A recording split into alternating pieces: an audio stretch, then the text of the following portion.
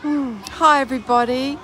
Uh, apologies, this is going out a bit late. I've been video editing all day for the Yantra show, but have a look at what's behind me. To try and. There we go. That is Mount Agung. So, that is one of the two live volcanoes here in Bali. So, a lot of Kundalini energy. You know, I've known people that literally didn't age living here because of the amount of Shakti in the land. And look at this gorgeous backdrop here, this lush, fertile land. Amazing. So, um, yeah, it's Friday. What are my musings on love this week? Well, I had an interesting initiation yesterday, uh, which I felt to speak to because um, yesterday was, of course, exact new moon in Gemini. And in the labours of Hercules, this is when the hero in all of us is tested on the lesson of the false teacher. And for me, how that played out was uh, there was a chap who, um, you know, had come highly recommended because he'd done seven one man shows and done a show in Edinburgh before, and he just happened to be in Bali and, you know, um, had offered to step in for the first week of rehearsals uh, for a fee, quite a, quite a large fee. Um, and so we had a Zoom to have a conversation. And in that conversation, he literally said, and I'm, I'm not paraphrasing, that if I didn't um, submit all creative control to him, that I would look like a monkey on stage. And I said to him, Do you mind just clarifying what you mean by that statement? And he said, You'll look like a total fool. And uh, I was like, oh, okay. so interesting. Um, and it was a revisiting of, you know, the challenges that saw me leave the entertainment world in my maidenhood. Hi, thanks for joining me live. And I remember very clearly that moment when I left the entertainment world, and it was when one of the promoters came up to me and said, No one's interested in what you have to say. And I left the venue in tears. And I remember once ending a relationship with a man because he said those exact words to my daughter, and I told him he was no longer welcome in our lives. So it feels really important, you know. I mean, this man was essentially bullying me. He was impressing upon me um, that, you know, I, I had no idea what I was doing. And that, and this is a man who didn't know me at all, um, didn't know my backstory, but presumed that he knew far more than me and was quite patronizing and arrogant in, in asserting that. And he was also saying, you know, you'll be completely alone on that stage. Um, and it's a cutthroat festival, it's dog eat dog competition, you know, you don't know what you're getting yourself in for. And I said, well, every morning I'm doing a subliminal meditation, creating the reality that I'm choosing to have when I go to this festival.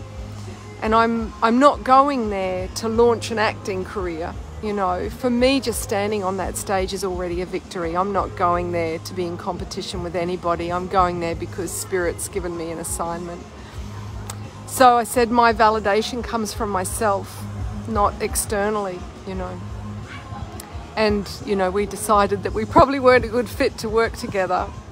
But after that call, I felt like throwing up and I was shaking all over. It had a big emotional charge.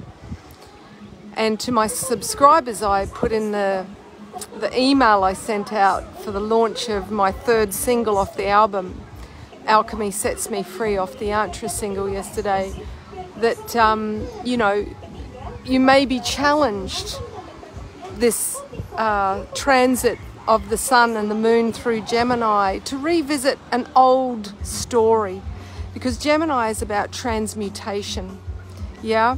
So we think of an alchemist as somebody who transmutes base metal into gold, but this is all a metaphor.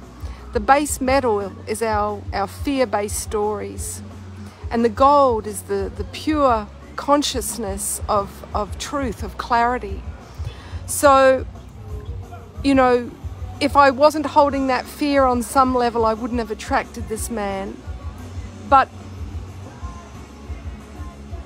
in journeying the last 27 years, I'm no longer that maiden who'll run away in tears, but instead stand in my own truth and say, Thank you, but that doesn't resonate with me. That's not the reality I'm choosing to have. And that's the mature Venus who has been to hell and back and has resurrected herself, having found self love. So that's what I'm being asked to embody this year. And I, I felt to share that because, you know, that's the third time in preparing this show for this festival that I've had interactions with men that have bullied me you know, and felt that that was completely appropriate behaviour. And it's foreign to me, having not been in a mainstream industry for nearly 30 years. You know, I'm used to working with people that have a certain awareness of how they speak and how they treat others.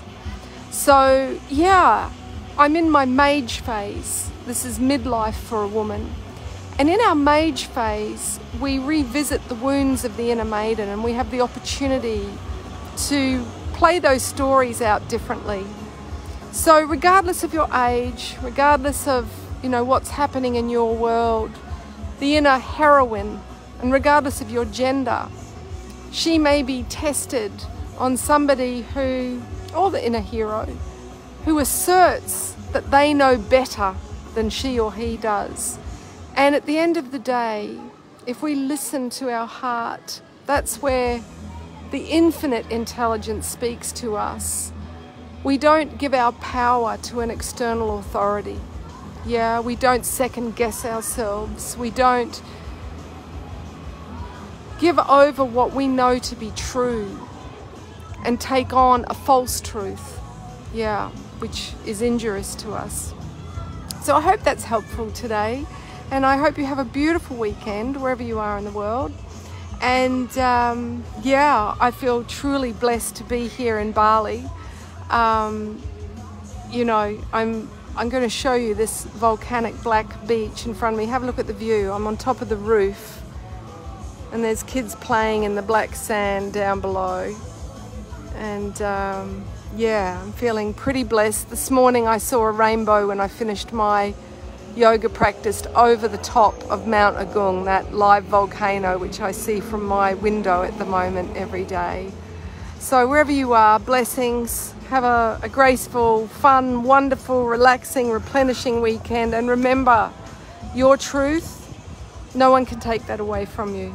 Yeah? Know your heart, connect with your heart, and um, yeah, don't be bullied into uh, betraying your own heart.